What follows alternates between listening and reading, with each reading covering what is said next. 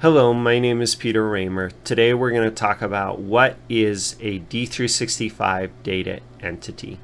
Data entities are our primary way for outside systems to interact with data within D365, whether that be reading data or writing data. So to give you a few examples, maybe you are just implementing D365 and you've got all this legacy data in a legacy system and you need to use the data management framework um, to bring in um, data from your uh, legacy system into this system. So you need a lot of data that you're loading, items, customers, etc. You can do that using data entities. Another example is maybe you've got a website that needs to be able to create sales orders within D365 or export out items and prices and customers to that website. Data entities help us do all of that. Data entities are a little different than the way we normally interact with data in D365. Normally, you're a user, you're able to open a browser, and you can log in um, using your credentials. Those credentials are tied to a user, which has security roles that determine which forms you can open. Those forms have data sources that interact with the underlying tables, and you can read, edit, uh, insert, delete that data. With data entities, we've got a little bit of a different mechanism for interacting with that data because oftentimes you're not going to be um, a user logging into a browser. You've got some outside system that's got an automated process or needs to be able to call D365 in an API fashion um, to interact with the data. And so that's one of the key pieces to understand with data entities is it provides authorized access for these outside systems. You wouldn't want to open up all these tables to the outside systems. This allows you to control which tables um, you can uh, interact with from outside D365.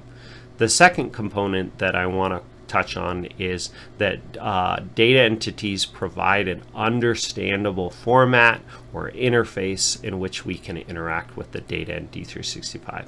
If I look at this customer form, within D365, it actually has a lot of data sources underneath. We've got our main cus table, then we've got all these addresses, and the addresses have about six different tables that all make up creating a particular address. We've got prices, um, so invent table module. Um, there's essentially a bunch of tables that are all um, needed to be filled out to have maybe a complete um, customer. I guess invent table modules for items, but you get the idea. There's a lot of tables um, in this customer form. And so that's great um, for databases. Databases are going to work a lot faster when we have the tables split out. They use up less space because we're only creating related tables when we need to. Um, however, for something like an outside system, it's confusing. They'd have to know um, the relationships between those tables. Uh, they'd have to be able to generate rec ID relationships to set this up. Um, so it becomes way more difficult for an outside system um, to insert data. And so data entities actually are a mechanism for kind of essentially flattening that data. And so we can see as an example here, if we have a customer entity, it's a single entity that's going to have a bunch of fields. I'll show you what that looks like in Visual Studio in a second but it's going to have all these different fields across maybe a number of different tables. Um, but the outside system doesn't care. They just see those fields. They know if they populate those fields and send them in, D365 um, is going to be smart enough to then insert all these related records and set up those relationships for us. So that understandable format is extremely helpful. And the same goes when we're reading data. So in order to read a customer out, um, the system knows it's going to have to join to all these tables, pull those fields together, and then export it. But um, we as that outside system don't need to know that. Um, so those are really the key pieces I'd say with data entities is the authorized access to outside systems and the readable format. Let's just take a quick look uh, in Visual Studio so you can kind of see what those look like. So if I go to the Application Explorer and I go to Data Model, there's going to be data entities as well as composite data entities. Um, and data entities can also have extensions so you can add to them. So I'm going to look at one called Cus Customer V3 Entity in the Data Entities node.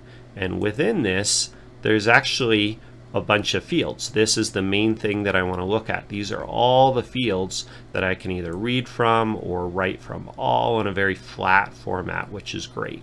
Now behind the scenes, a developer has specified all the data sources and those relationships that need to make up those fields. So you can imagine if you were trying to write this every time from scratch that this would be really complicated. But thankfully we've got this data entity um, and we can use it to read and write these customers.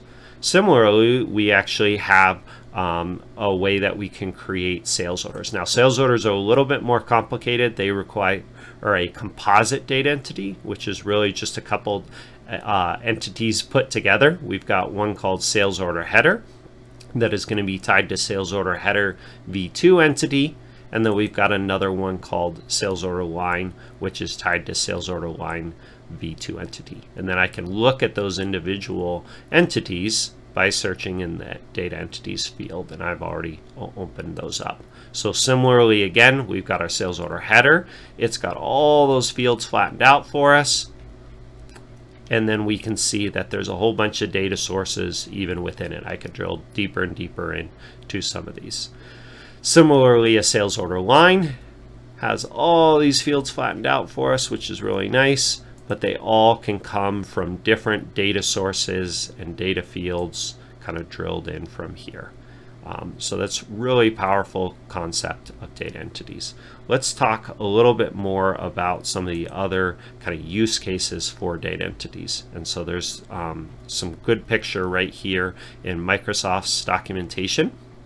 And so essentially some common integration scenarios to use data entities. One is called OData.